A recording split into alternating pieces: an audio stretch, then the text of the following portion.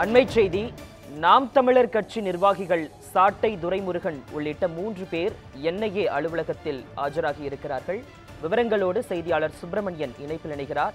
சுப்பிரமணியன் விவரங்களை சொல்லுங்க.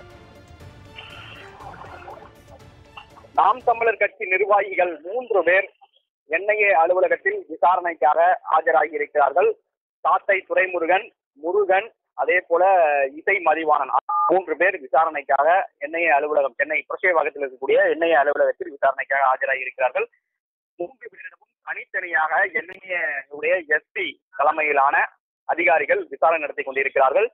ஏற்கனவே கடந்த இரண்டாம் தேதி நாம் தமிழர் கட்சி நிர்வாகிகள் வீடு மற்றும் தொடர்புடைய இடங்களில் என்ஐஏ அதிகாரிகள் சோதனை நடத்தினார்கள்.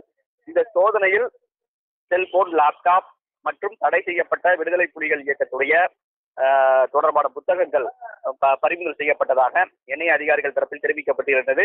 அதன் அடிப்படையில் நான்கு பேருக்கு சம்மன் என்றது கொடுக்கப்பட்டிருந்தது. அது சம்மனின் அடிப்படையில் மூன்று பேர் இன்று விசாரணைக்காக ஆஜராகி இருக்கிறார்கள் அவங்க மூன்று பேரிடமும் என்ஐஏ அதிகாரிகள் வாக்குமூலம் பெறக்கூடிய நடவடிக்கையில் மேற்கொண்டு வருவதாக தகவல்கள் வெளியாகி இருக்கிறது.